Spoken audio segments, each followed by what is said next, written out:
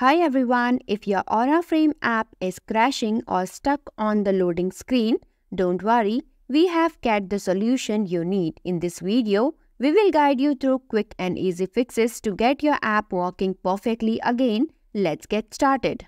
Fix 1. Close and restart the Aura Frame app on Android. Swipe up from the bottom of the screen, hold and let go. Swipe up on the Aura Frame app to close it. To restart, go to Settings, then Apps, then go to Select Aura Frames, then tap on Force Stop. On iPhone, swipe up from the bottom of the screen and pause. Swipe left or right to find the Aura Frame app. Swipe up on the app's preview to close it. To restart, tap the Aura Frame app icon on the home screen.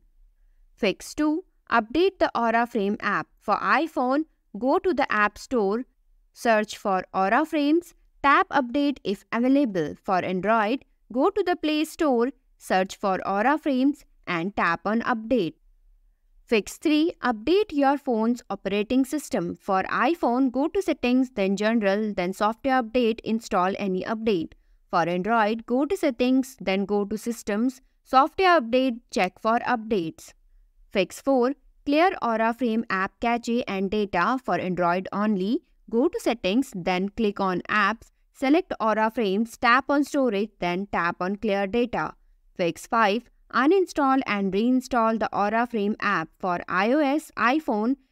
Press and hold the app icon, tap remove app and reinstall from the app store. For Android, go to settings, then apps, select Aura Frames, tap uninstall, then reinstall from the Play Store. Thanks for watching. If you like the video, please hit the like button.